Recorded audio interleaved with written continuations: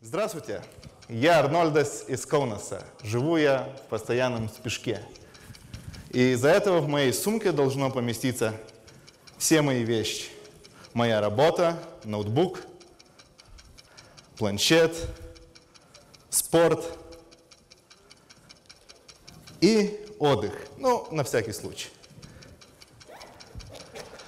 На работу я еду на метро. А до метро мне надо доходить на велосипеде. Работаю я в банке. Из-за этого я должен выглядеть стильно, но и официально.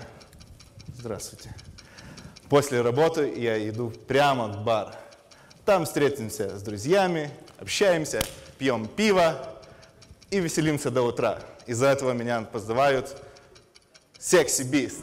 Ребята, голосуйте за Acme Peak, за сумку, универсальную сумку.